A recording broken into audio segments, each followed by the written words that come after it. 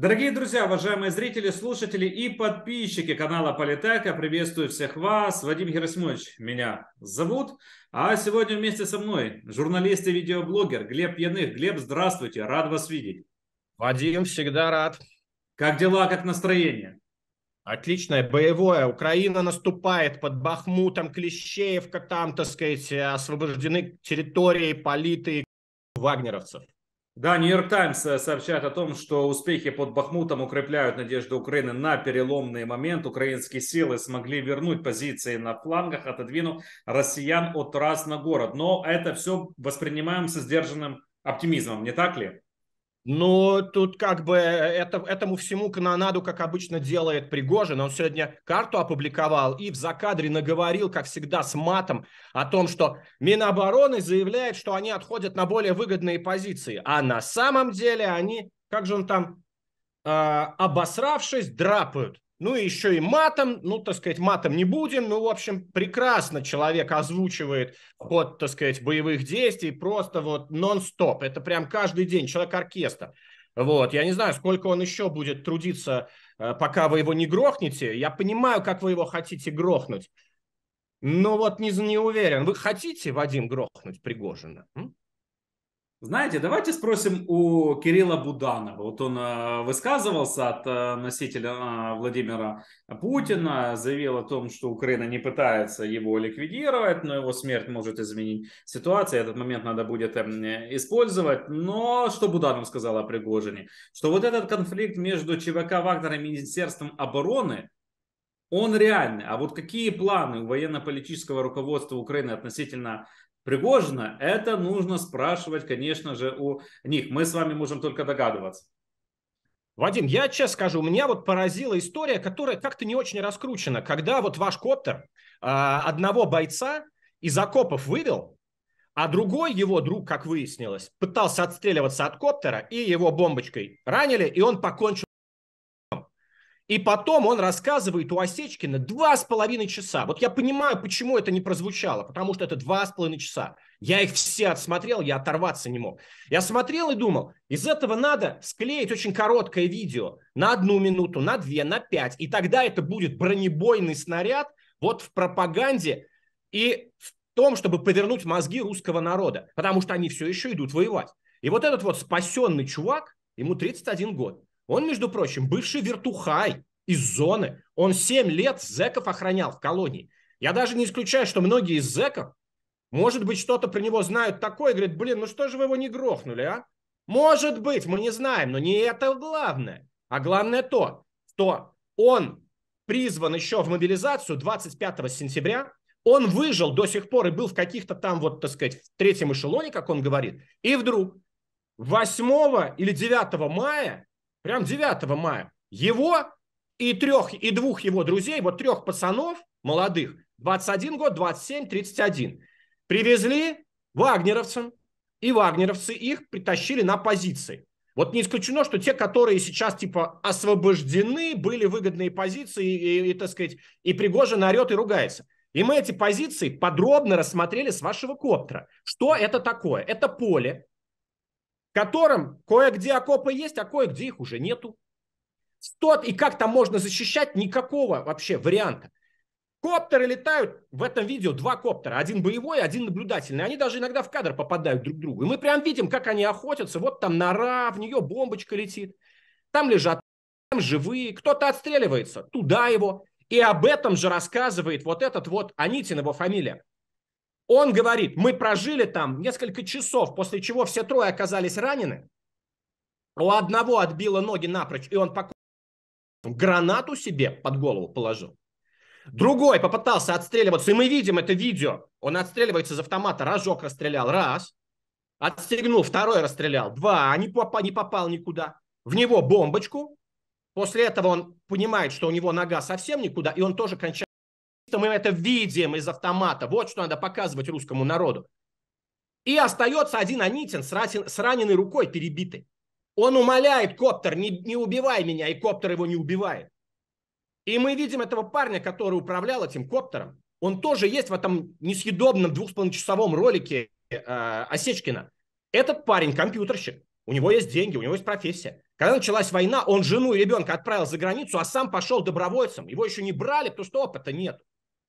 Вот так... почувствуйте разницу, да, кто воюет с той стороны и зачем, и как, и кто воюет с другой стороны. Так к чему, Глеб, готовит э, российское сейчас э, население? Вот э, Соловьев э, вышел в, очередной свой, в, в очередном своем стриме, сказал о том, что ну, нужно создавать народное ополчение при фронтовых регионах. Вот Зеленский он будет наносить удары э, по нашей э, территории, будут ДРГ э, заходить. У нас нет больше пограничных войск, которые были в советское время. Может быть, нам надо возвращаться к идее народного ополчения. Вот вспомним то предложение, о котором говорил Картополов, мол, тероборону надо создавать, а несколько месяцев назад тому смеялись, когда у нас формировалась наша, наши отряды.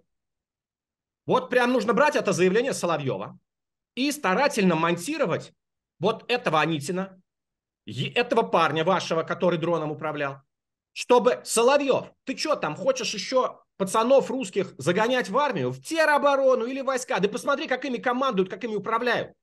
Их швыряют. Вот до сих пор были вот эти вот названия мясные атаки. А я впервые узнал, что такое мясная оборона. Вот этот вот бессмысленный плацдарм полтора на полтора километра около Бахмута – это мясная оборона. Причем ее держат вагнеровцы чужими руками. Им из Минобороны трех бойцов, молодых пацанов прислали. Не самых тупых, хорошо экипированных, у них хорошие каски, у них броники, у них нормальные калашниковы. Но это абсолютно бессмысленная вещь. Это поле, которое просто идет охота, люди дронами летают целыми днями. И человек по 30 в день на тот свет. Два месяца, 600 человек на тот свет абсолютно бессмысленно. Ради чего? Ради того, чтобы Пригожин докладывал, что я держу Бахмут. Да это бессмысленная людоедская мясорубка. Ну давайте грохните уже, наконец, Пригожина скорее. И на фоне этого, на фоне этого, а, даже того же конфликта между Пригожиным и Министерством обороны уже наметился другой конфликт между ЧВК а, «Вагнер» и Государственной Думой. Есть такой э, депутат Виктор Соболев, он является э, членом, целым членом а, фракции КПРФ. Он пригрозил тюремным э, заключением военным, которые попытаются перейти из армии в ЧВК «Вагнер». Он уточнил, чуть позже свое заявление, сказал, что он категорически против Вагнера и что государство должно обладать исключительной монополией на вооруженные силы. Правда, ему там напхали по полной программе э, вагнеровцы, я это все цитировать э, не буду, но из эм, всего этого следует, что Вагнер готов выйти на Красную площадь, чтобы защитить российский народ, чтобы защитить россиян от таких, как вот этот Соболев, которые, по их а, мнению, ведут Россию к военному поражению в этой войне с Украиной. Вагнеровцы на Красной площади. Вот это был бы интересный сюжет, а? Да, я с удовольствием посмотрю. Мне кажется, хорошая будет перестрелка. Но мне кажется, там ФСОшники все-таки лучше стреляют. Вагнеровцы там проживут ровно столько же, сколько вот этот боец на вот этой вот бессмысленной людоедской обороне Бахмута, которую там организовал Пригожин, великий полководец. Слушайте, самое главное, что, понимаете, у Пригожина есть еще аппаратное влияние. И мы это видим. Вот в чем проблема. Мы все думали, что это он цирк э, разгоняет, что он, так сказать, ему нечего терять, что он там под Бахмутом в, в мышеловке, и поэтому он уже и на дедушку обзывается мудаком и так далее, и так далее. А сейчас, вот после того, как я посмотрел это видео и понял, что ему из Минобороны трех бойцов дают, и я не исключаю, что так вот каждый день подбрасывают. То есть потому что у него зеки кончились, Мяса нету для мясных оборон. Это лютые его враги, вы понимаете, Шойгу с Герасимовым, которые уже просто с ног до головы обосраны Пригожином, они ему солдат дают. Вы понимаете, какое огромное еще влияние аппаратное имеет Пригожин, Вадим? Так он и Мизинцева же получил. Откуда? С Министерства обороны. Вот в чем ужас ситуации. Это означает, что крепка его крыша. Я по-прежнему не верю, что он может прям Путину позвонить, Пригожин. Но то, что Патрушев за него словечко там перед Путиным каждый день, э, так сказать, э, замолвит, это тут я не сомневаюсь. А, Глеб, что вы хотите сказать, что а, Кирилл Буданов, начальник украинской разведки, он э, ошибается, когда говорит, что вот этот конфликт между Министерством обороны и Пригожиным, он реальный, и Буданов считает, что в этом конфликте Пригожин э, победит, и это приведет к военным трибуналам? Да нет, не ошибается, конфликт есть. Да. Но кроме конфликта, а у Путина всегда были конфликты, все бульдоги под ковром у Путина всю жизнь грызли друг друга. Каждый божий день. Я подписан вот на чекистский канал ВЧК ЛГПУ. Ё-моё, каждый день я читаю, как в нашей родине друг друга давят, душат, как чекисты, как менты наехали на того предпринимателя, на этого. Здесь отжали что-то каждый божий день, вы понимаете? Там последний пост по поводу секретной больнички для вагнеровцев в Москве. Я не знаю, успели ли вы прочесть или нет? Э, про вагнеровцев не видел, но я вам честно скажу, мне больше интересно, я мог пропустить. Да, мне, мне более интересно, как, так сказать, как бы происходит еще руководство страной. Что там по-прежнему продолжают друг у друга кусок из глотки вырывать. Ребята, скоро ни кусков, ни глоток не останется. Чего вы друг у друга рвете? Алло, проснитесь, мозги включите. Вы понимаете? И поэтому Буданов... А есть что включать, Глеб? Вот вы говорите, а? мозги включите. А есть что включать? Ну, хрен знает. Видимо, это крокодилы, да, у крокодила мозг маленький, пасть большая. И вот он жрет, жрет, жрет, пока его не пристрелят, этого крокодила, он будет жрать. Ну, наверное. Нет, Буданов все правильно говорит. А что тут спорить-то? Мы что, с вами не видим конфликт между Минобороны и Пригожиным? Он есть. Но просто Минобороны, видите, по аппаратным причинам вынуждена Пригожину и то давать, и это. Понимаете, и уступать. Вот в чем проблема. К сожалению, Пригожин оказался круче, чем мы с вами надеялись. Мы-то все с вами надеялись, что он уже не жилец. И Буданов надеялся, что он не жилец, а он, зараза, жилец. Вот в чем дело. Он других на смерть отправляет, а сам сидит, ролики свои пишет. А что вы, кстати, думаете по поводу вот этой достаточно нашумевшей уже публикации The Washington Post, в которой речь идет о том, что э, Пригожин предлагал Украине сдать э, место расположения российских войск в обмен на то, что украинская армия отойдет э, от Бахмута, где массово гибли как раз вот наемники э, ЧВК Вагнера, и можем вспомнить соответствующие комментарии и Владимира Зеленского. А потом появилась э, вот эта публикация о том, что вернули якобы с помощью украинских спецслужб вот этого скакуна а, Рамзану Кадырову. Кучненько, кучненько как-то пошло. Самое главное, Вашингтон-Пост на кого-то работает. Зеленский в интервью им прямо у них спросил, ребятки, вы на кого работаете? И они там стали вилять, уходить от ответа. Мы не знаем на кого, но тут как бы, если Зеленский, э, ну, просто на них вот жестко наезжает, и это тем самым демонстрирует, что работает э, Вашингтон-Пост на Россию, и работает, делает вот этот пиар против Пригожина. Там же ложь содержится прямая в газете Вашингтон-Пост. Они сами спалились. Они Зеленскому говорят, что вот эти данные о том, что Пригожин хотел сдать позиции российских войск украинцам, они содержатся вот в этой вот э, утечке, которая там из Пентагона, которую там вот этот молодой пацан, какой-то там морпех или кто он там утек. А этого там нету. И сам Зеленский в интервью этому Washington-Post прям в лицо им говорит, ребятки, в этой утечке такого нет. На кого вы работаете? А потом текст убрали, потом его снова вернули. Ну, мутнейшая история. Не-не, ну самое главное, что было в утечке, весь мир знает. Те, кто читал, все подтверждают. Нету там такого. Понимаете? Вашингтон-Пост сначала опубликовала, потом убралась. Но, например, есть еще сайт BBC, на котором эта история вся рассказывается. И там есть вот эта вот цитата, как разговаривает Зеленский с э, Вашингтон-Пост. Это же никто не опровергает. Зеленский действительно в лицо Вашингтон-Пост бросил. Алло, ребята, вы на кого работаете? И первое ощущение, что ребята работают на кого-то из Москвы. Потому что в Москве это эти противоборствующие силы, бульдоги под ковром. И кто там, так сказать, против э, Пригожина? Ну, первая мысль, что это Шойгу с Герасимовым заказали аж в Вашингтон-Пост, Видите, нашли хорошего пиарщика наконец-то. Потому что Шойгу с Герасимовым производит впечатление дундуков, конечно, редкостных. И с пиаром у них хреново. Но когда их Пригожин там месяцами долбит, долбит, долбит, они, наконец, может быть, очнулись, сказали, э, давай найдем пиарщика по, по, побогаче, заплатим ему побольше. Давай уже ответочку, ответочку. Да. И он им говорит, сейчас я вам Вашингтон-Пост организую. Но это вот первое объяснение, которое лежит на поверхности. Да и хватит нам его. По поводу э, Кирилла Буданова, давайте вернемся к нему. Кстати, его очень часто в Украине критикуют за то, что он постоянно дает интервью, мол, это э, не э, работа главного разведчика, а вот общаться так активно с прессой. Ну да ладно. Я еще раз напомню то, о чем он сказал. Вот ключевое. Э, Украина не пытается ликвидировать Путина, но его смерть может изменить ситуацию. Этот момент надо будет использовать. Так, если ситуация поменяется, кардинальным образом она поменяется, так почему не прилагать усилия по поводу э, ликвидации российского диктатора? Слушайте, правильно говорит Буданов. А смысл, вот непосредственно, вот что он говорит, надо ликвидировать или не надо? Да какая нам разница? Главное, что он это обсуждает. Вы понимаете, главное, что это в медийном пространстве. Главное, что весь мир на это ссылается. Вы понимаете? Если бы это говорил не шеф разведки Украины, Украины а какой-нибудь там чиновник из аппарата э, Зеленского, то я не исключаю, что мы бы это не обсуждали, и вообще никому бы до этого особого дела не было. А тут шеф украинской разведки. Круто. Поэтому я считаю, что информационная война – это такая штука, в которой должны участвовать первые лица. И Зеленский – это первый боец, э, так сказать, информационного фронта. Поэтому тут те, кто говорит, что Буданов что-то не то говорит, ребятки, вы точно уверены, что вы лучше знаете, что надо говорить Буданова, а что не надо? Вот что-то я бы вот не взялся судить. По поводу Рамзана Кадырова очень интересно высказался Буданов, сказал о том, что у него проблемы с употреблением а, наркотиков. Периодически а, Кадыров а, серьезно лечится, преимущественно в России, но и с помощью специалистов из других стран. Во как. Правильно говорит. Это хороший пиар.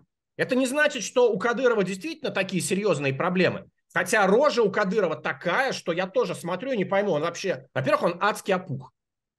Во-вторых, он говорит вот это вот бесконечное «дон, дон, дон». Алло, чувак, ты что, контролировать себя не можешь? Это для связки слов. Ну, на, тебя уже весь мир хохочет. Ну, ты, ну сколько на тебя пародий? Ну, хорош, Алена. Ну, ну, раньше, причем, он так не диндонил. Мы же помним Кадырова, когда он, так сказать, в, в, в трусе, там, в спортивном костюме после смерти отца в кабинете Путина сидел. Ну, в общем, он не диндонил. А сейчас это чего? Я когда вот после долгой паузы увидел Кадырова, мне показалось что это пародия на Кадырова. Я сначала его не узнал. Я решил, что какой-то актер, оригинал. Я решил, что какой-то актер его очень талантливо стебанул. Потом я смотрю, да нет, это он такой есть, он так говорит. Это какой-то кошмар. И поэтому я гляжу думаю, может, Буданов прав, он действительно на наркоте, или, или что? Потому что если бы он просто был больной, но он бы говорил без вот этих диндонов, тара-та-тара, а так вот его что-то несет. Но самое главное, Буданов тем самым опускает Э, в публичном пространстве акции Кадырова, скажем умным языком. И это нужно. Нужно, чтобы никто не боялся чеченцев, кадыровцев, вот этого всего, вы понимаете? И для этого, конечно, об этом нужно и нужно говорить. Чем больше будет пародий на Кадырова, чем больше будет о нем говорить Буданов, что это вообще, так сказать, живой труп, тем лучше. Тем как бы меньше его будут бояться, меньше боевая сила. Его войск, правда, я их там на фронте не заметил. Ну, может, они там где-то они уже даже тиктоки перестали снимать. Да, да, конечно, потому что над ними все нахохотались, и они перестали. Потом, видите, и сам Кадыров перестал, а вот вылез некоторое время назад. И вылез, когда ему надо было ответить э, Пригожин. Опять-таки, опять, да? И опять ушел в информационное подполье, затихарился. Ну, того, что он наговорил, уже достаточно. Вот он там недельку-полторы потусовался, мы уже ну, все поржали. Скакуна рассказал, что скакуна ему вернули, якобы с помощью украинской разведки. Ну все, он сел на скакуна и ускакал в горы. Ой, елки-палки. Все это, конечно, смешно. Но, вы понимаете, нам, нам вот, ни вам, ни нам, э, не, вообще не интересен Кадыров как таковой. Он такой персонаж, ну, чисто вот по приколу, да? А по сути, историю России и Украины он вообще никак в ней не участвует. А что там будет на Кавказе?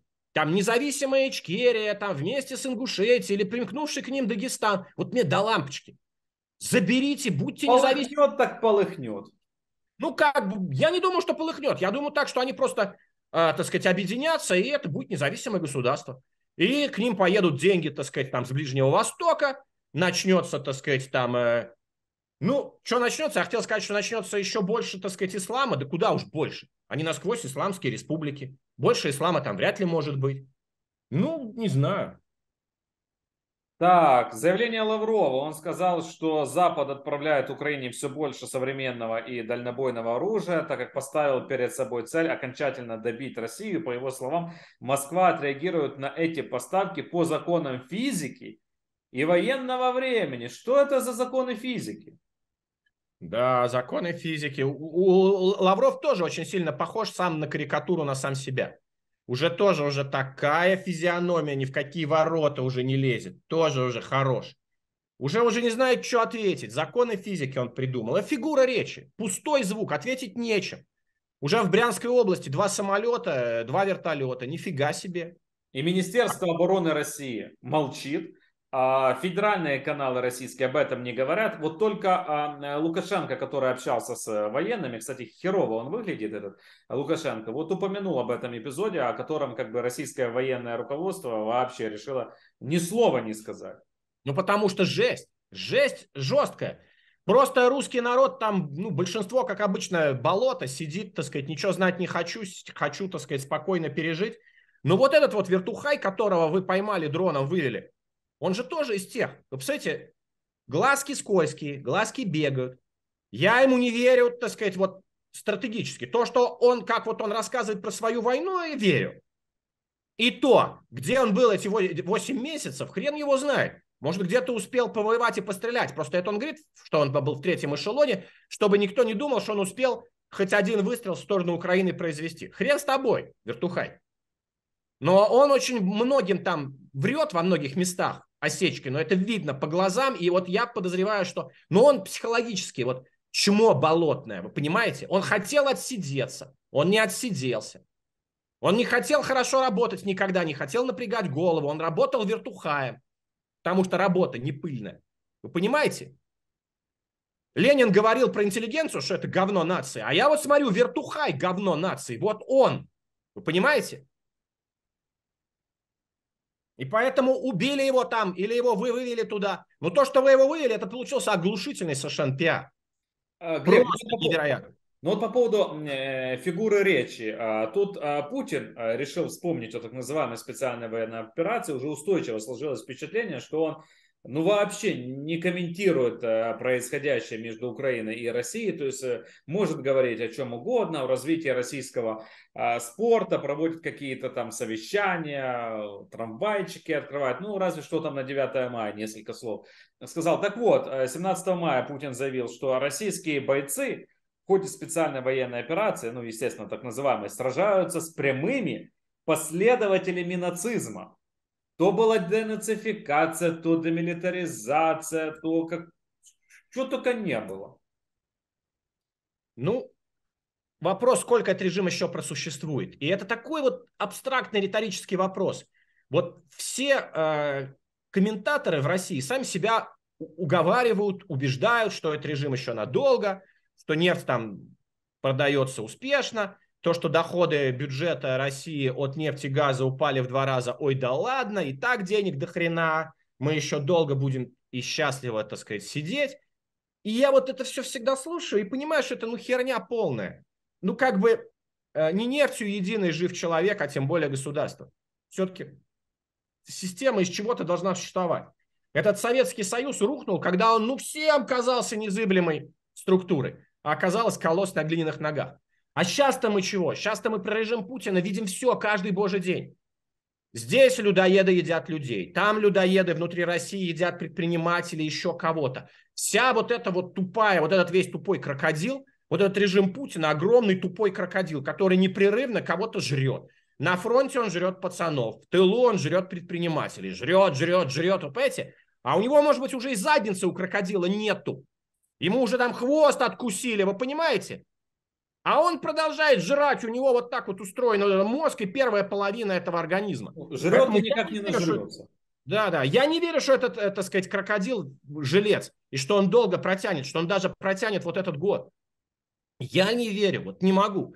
Просто это доказать нельзя. Вы понимаете, сколько ты не показывай людям кусочки пазла, они все равно, вот у них не складывается такая картина. Они даже не могут а, вот эти кусочки пазла увидеть одновременно. Ну, то ли у них поля зрения как-то сужены. Ну, Он один кусочек. Ты, сколько бы ты там иконы не раздавал, не передавал, все равно ни хера не будет. И вот в связи э, с этой темой есть информация о том, что администрация Путина не понравилось слова э, патриарха Кирилла на заседании Священного Синода о том, что патриарх просил администрацию э, президента передать церкви икону Троицы Андрея Рублева всего на две недели. Вместо этого Путин издал якобы закрытый указ о бессрочной передаче иконы из музея э, в РПЦ. На самом деле просьба была изложена патриархом и касалась всех важных русских икон Мединскому было поручено оформить просьбу э, патриарха, и Священный Синод по просьбе Кирилла предложил провозгласить благодарность Путину. И кроме того, в храмах и российских монастырях будут теперь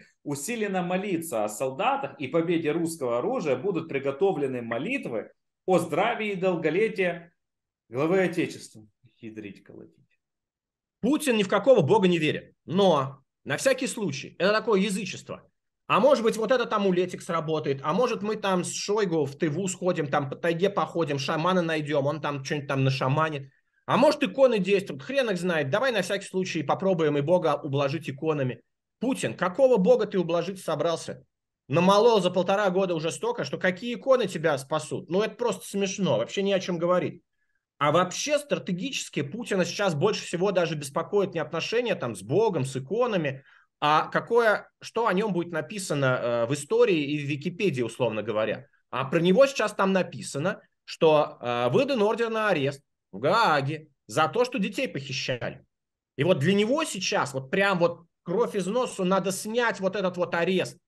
Поэтому детей будут возвращать в ускоренном порядке, а я думаю, что детей вернут, а ордер здесь не снимут. Ну как же, ты же похитил, похитил, ты вернул, вернул, неважно. Это как преступник. Ограбил магазин, потом все принес, отдал, а все равно менты тебе дело шьют. А отсидеть нужно. Да, отсидеть да. нужно. Да. Э, комитет, кстати, вот э, по иностранным делам Палаты представителей Конгресса США проголосовал за резолюцию, призывающую президента Байдена поддержать создание специального трибунала для наказания преступлений э, агрессии против Украины. В резолюции конгрессмены отмечают нарушение России статьи устава ООН отмечают, что беспрецедентное полномасштабное вторжение России в Украину достигло критической точки требующий немедленных и решительных действий со стороны международного сообщества. И, кстати, Антони Блинкен, главный американский э, дипломат, так намекнул, что, возможно, наконец-то а, Америка провозгласит э, Россию государством-спонсором терроризма. Да уже пустой звук, уже не важно. Вы понимаете, уже провозгласит, не провозгласит. А вот вы мне сказали, а я вот сижу и думаю, а что, до сих пор не провозгласили? Странно. Странно. А я думал, что уже сто раз провозгласили. Потому что все время вот этот бла-бла-бла звучит, вы понимаете, Кого назвали террористом, кого не назвали, на кого санкции наложили, на кого не наложили. Это все равно пустой звук. А все решается на фронте. Реально, куда ракета прилетела, кого убили, кого не убили, кто выжил. Вот сейчас был очередной обстрел, ребенка убили и двое раненых. Вот это да. Вы понимаете? Каждая вот такая новость, да, ребенка убили, да, оно добавляет всем политикам и в Европе, и в Америке все больше сочувствия Украины, все больше помощи Украине. Вот это такая колесо истории крутится вот так, прям вот на наших глазах. Россия потеряла а, в войне против Украины столько войск, сколько насчитывается в 16 армиях стран НАТО. Это самые большие потери в войне со времен Второй, э, Второй мировой. Об этом говорится в новом отчете Global Firepower. Ну, все идет по плану. Цели и задачи так называемые СВО будут обязательно выполнены. Тут еще статистика о смертности в России за прошлый год. И там огромное количество, рост смертности пацанов от 20 до 25 лет. Там прям невероятный всплеск. Я вот точно цифру, насколько их э, больше э, по официальной статистике отправилось на тот свет, не видел. Но вряд ли это будут там 200 тысяч человек, вряд ли, да, то есть это нас не впечатлит, потому что, так сказать, погибали все, но в целом, да, рост в два раза вот в этой вот страте – самых молодых, самых боевых, которые вообще-то детей должны рожать, а их сейчас хлобыси на тот свет. Угу. Просто я вот тоже, что об этом думать, вы понимаете, вот каждый человек, он все-таки э, индивидуальный. Вот этот вертухай, у него дочка, жена, дочке 4 года. Он пошел сдаваться в плен то ли в день дня рождения дочки, то ли на следующий день после дня рождения дочки. Он прямо рассказывает, что его это вот прям э, на душе скребло, что что же я здесь лежу в окопе, стреляют минами каждые, каждые там два часа, и еще и дроны летают. Ничего мы здесь не защищаем и не защитим. Кругом десятки брошенных трупов. Раненые умирают, их никто не забирает. Они все это видят. И это называется, типа, держим оборону под Бахмутом. Вот вы понимаете, что главное? Вот не эти слова про, так сказать, там, кого назвали террористом, кого не назвали, кого назвали государственным спонсором терроризма, кого нет. Просто самое главное, как Россия воюет. Вот что прям вопиющее. Это надо просто ролик смонтировать. Вот чтобы сделать классный ролик там на минуту-полторы, 4 часа работы минимум. Это, наверное, с моим уровнем квалификации. Но у меня нет времени на такой подвиг. Сеймур Херш, журналист американский, лауреат знаменитой Пулицеровской премии, сообщил следующее. Группа европейских государств во главе с Польшей тайно призывают Зеленского остановить конфликт. Эту группу, по мнению Херша, возглавляет Польша. Она тайно призывает Зеленского найти способ положить конец войне, даже если для этого необходимо уйти в отставку. и сказал, что в эту группу стран входят прибалтийские и восточноевропейские страны, в частности Венгрия, Латвия, Литва и Эстония. Ну, сложно поставить в один ряд польского президента Анджея Дуду и э, премьера Венгрии Виктора Орбана. Ну, вообще несовместим. Да это, этот старичок Херш, это просто такой гнилой анекдот, причем он настолько э, беспринципный и циничный, он решил, о, время настричь бабасов. Сейчас я настригу. А то, что они просто кровавые деньги от Путина, да плевать. Старику Хершу, он еще там в 70-е годы, так сказать, на, его совести столько э, смертей американских э, солдат э, во Вьетнаме. Это вот он там за мир призывал. А потом в Камбодже вырезали миллион человек из трех миллионов, по-моему, жителей. Потому что, да, американцы подняли лапки и сказали, все, нахрен. Мы начинаем мир, потому что э, Херш и другие хершисты по всей Америке развернули вот такую херню. Хершисты, хероманы. Да-да, просто тогда это как-то казалось вроде прилично, хотя все равно умные люди в Америке говорили, да вы охренели, что вы творите. Но это был мейнстрим такой демократический. А сейчас это уже позорище на весь мир. Этот Херш – это посмешище, это просто анекдот. Все, что он несет, полная херня. Ну вообще даже всерьез обсуждать, что Польша, самый такой верный идейный союзник Украины, будет вот что-то такое херню тут за спиной. Так, так вспомните, что говорили ярчайшие представители российской пропаганды, что вот Польша хочет оттяпать части украинской территории. Ой, да, еще Калининград хочет, еще до Белгорода дойти. Елки-палки. Ну это, это ж какую клизму надо в мозг поставить? Да Я она у них, из, эта клизма из мозга и не вылезала. Просто вот, э, так сказать, просто сейчас этим пропагандистам, ну, подпекает им. Они несут свою херню, а сами думают, елки-палки, а нас после войны не достанут. А ведь их достанут. Обязательно достанут. Кстати, Глеб, как вы оцениваете, ну, исходя из публичной, естественно, информации, результаты европейского турне Владимира Зеленского? Это шикарно. Там же ему в каждой стране говорили, там, Макрон говорит, мы дадим дальнобойные ракеты, вот эти Storm Shadow, французская модификация, которые еще круче там и дальше летают. То есть его, так сказать, то есть и это просто подарки со всех сторон плюс деньги. Поэтому, конечно, вопросов нет. То есть, как бы Зеленский успевает, видите, и фандрайзером работать, и внешнеполитическая деятельность, и деньги, но все-таки все сейчас работает на Украину. Вот объективно весь мир работает на Украину. Давайте признаем это честными, да, и все-таки поэтому Украина победит.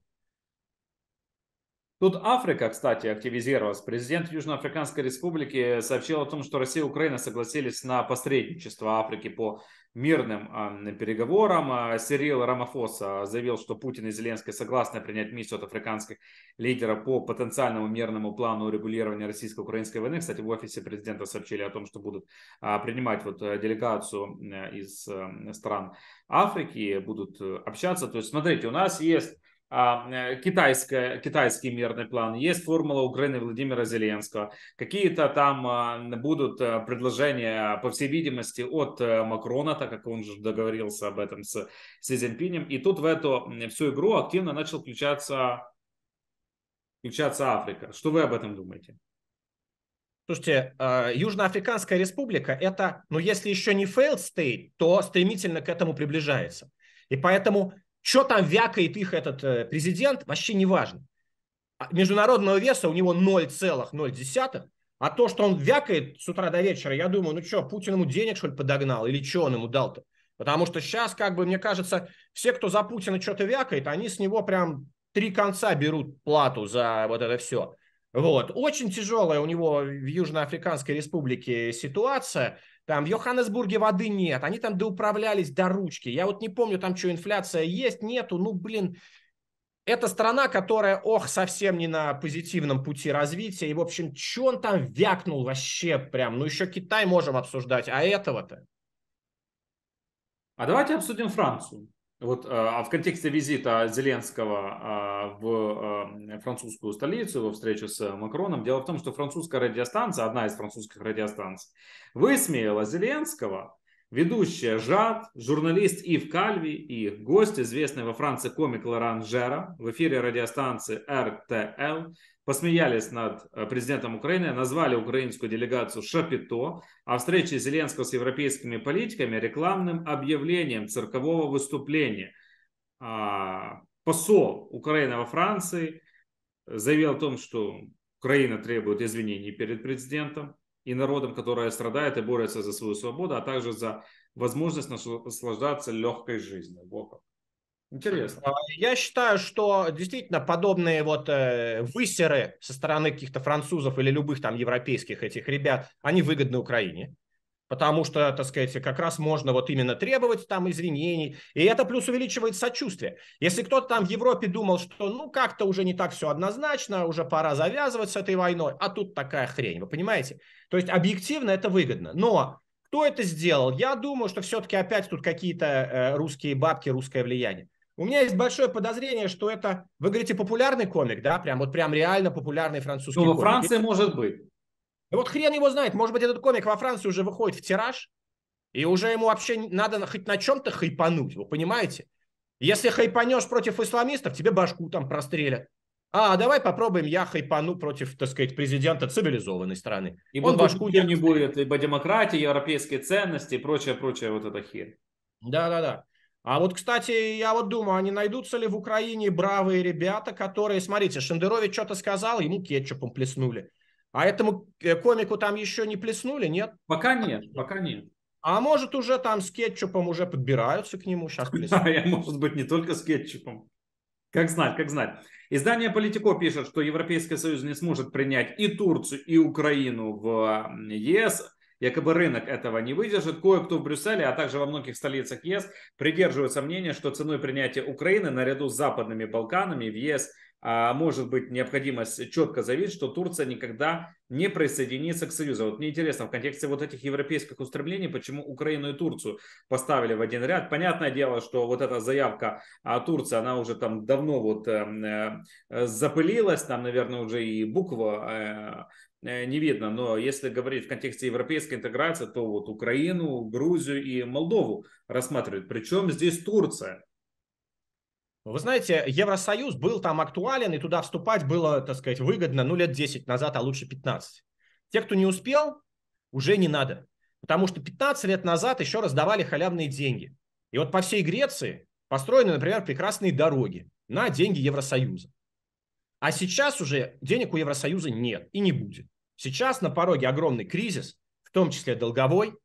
Этот вот огромный, так сказать, финансовый вот коллапс, который вот приближается неумолимо, так медленно-медленно наползает, и даже непонятно, где впервые прорвет. Вроде мы все знаем, что там сыпятся американские региональные банки, но умные люди говорят, что все равно, так сказать, как бы Европа в худшем положении, и особенно Англия.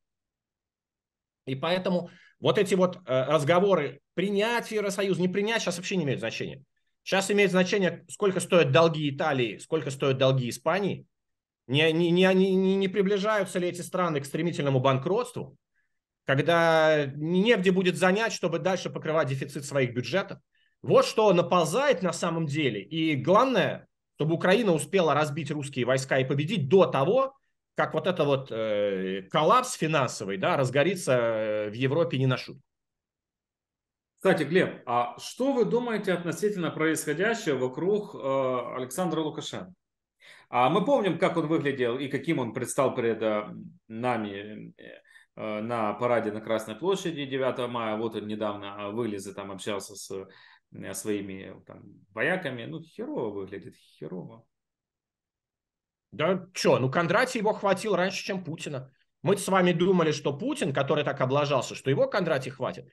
А, видимо, Путин как бы вот окруженный своими там войсками, бункерами, там, ценами на нефть, этими необъятными просторами России, как-то чувствует себя все-таки более уверенным, что как-то он там пропетляет, перетерпит, пересидит до каких-то вот лучших времен несмотря на то, что у него кругом задница, со всех сторон задница, но настолько как бы сила инерции э, еще пока велика, что ему кажется, что пропетляет. Мне-то нет, ну что? Там что с задницей, что с передницей, наверное. Ну да. А Лукашенко что, маленькая страна, полностью зависима от Путина. Причем Лукашенко числится диктатором, а власти-то у него уже нету. Все, он оккупирован, все там у него решают, так сказать, русские войска, русские ФСБшники. А ты, Путин, что? Ну, мэр Минска. Окей, командуй Минском. Проводи парады. И, в общем, вот как бы на нервной почве, я думаю, что у Лукашенко и случилось. Слушайте, а уж что? Да, уж что, да хрен его знает. А если таки скопытится Лукашенко, что тогда? Ну, я думаю, какого-нибудь, так сказать, достанут из табакерки, ни, ни, ни я, ни, ни вы не знаете его имя, и э, это будет стопроцентный ставленник Путина. Вот. Ну, это не значит, что режим тут же рухнет. Да нет, там пока все на штыках постоит еще, до окончания войны. Вот главное разгром русских войск на украинском фронте. И вот после этого что будет в Беларуси, вот тут я не знаю прям совсем.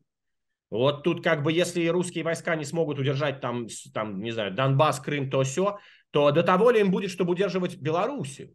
И если там как раз к этому моменту будет не Лукашенко, а хрен пойми кто, это будет хорошо, это будет большая надежда, что вот там-то как раз и произойдет перехват власти, захват какими-то такими э, бодрыми боевыми силами, которые извлекли урок из того вот мирного протеста, который был вот э, в каком, в 20 что ли, году, да, когда они там протестовали, протестовали, да, а их в августе 20-го. Да, и вот никакого толка. Вот, может быть, так сказать, извлекли урок и теперь понимают, что нет, ребятки, надо вооружаться и протестовать не мирно. Добро должно быть с кулаками. Украина всем доказала.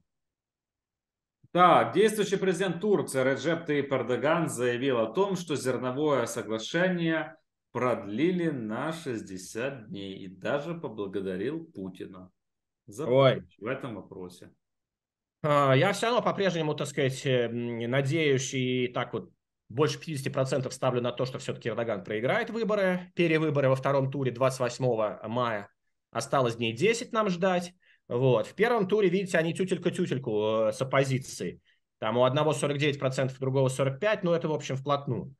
А, вот. И э, поэтому вот что он сейчас, какие телодвижения делает, безразлично, да. Факт тот, что вот итоги этих выборов напугали народ, и здесь э, упал курс лиры, упала биржа, ну как, упали акции банков в основном. Но в целом это вот как бизнес воспринимает возможную победу э, Эрдогана, да все будет плохо. Я вот думаю, вот, так сказать, хватит кому-то мозгов э, на следующих выборах, вот на, на, во втором туре прийти и проголосовать против Эрдогана, даже если они за него голосовали в первом. Потому что они видят, что, ага, если Эрдоган выигрывает, то, значит, нас ждут большие экономические проблемы, все будет падать. Но, наверное, это слишком сложно для простых ребят, которые голосуют за Эрдогана. Не знаю. Противник эм, Эрдогана на выборах, оппозиционный кандидат э, Кемаль э, Кылыч Дороглу. Дороглу. Да, заявил, что не оставит, не оставит Турцию фальшивому лидеру Реджепу Таипу Эрдогану, который сближает Турцию с Россией. Интересная риторика. Ну, это Кылыч Даройлу все время, так сказать, дистанцируется от России, он все время об этом говорит. Есть тут более яркая вещь, порнуха на выборах перед первым туром. Э, тут был еще четвертый кандидат в президенты, и он снялся за неделю до выборов. Снялся, потому что на него тут вывалили порнуху. Он сказал, что порнуха не настоящая, что там его голову приделали к чужой порнухе. Ну, кто же там будет разбираться-то?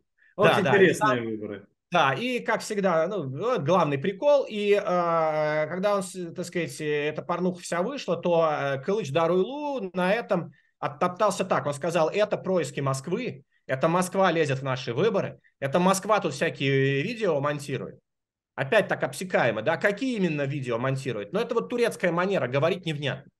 Это прям вся страна норовит говорить невнятно. Так тема порнухи, я так понимаю, не раскрыта, верно? Да, да, конечно, так сказать, товарищ Кылыч Даройлу, вы хотите сказать, что это Москва смонтировала порнуху, или, может быть, она настоящая, Москва ее там подслушала и вывалила, да? Нет, мы не понимаем, но хайпанул, хайпанул, Э, зафиксировал свою позицию против Москвы, зафиксировал, ну и слава богу. Ну что же, Глеб, а, будем завершать. Э, вот в завершении нашего с вами эфира, что бы вы пожелали всем нашим зрителям и слушателям? Друзья, терпение, терпение. Я понимаю, насколько вы ждете наступления э, украинской армии. Это ожидание перегрето. Я понимаю, что хочется все побыстрее. Но вот посмотрите, что на, на фронте творится. Вы видите, да? Людоеды перемалывают свою собственную армию. Украине я хочу пожелать только терпения. Спасибо. Глеб Яны, журналист и э, видеоблогер, был сегодня вместе с нами на Политека. Спасибо всем нашим зрителям, слушателям и подписчикам. Берегите себя, услышимся и увидимся. Всем всего доброго. До свидания.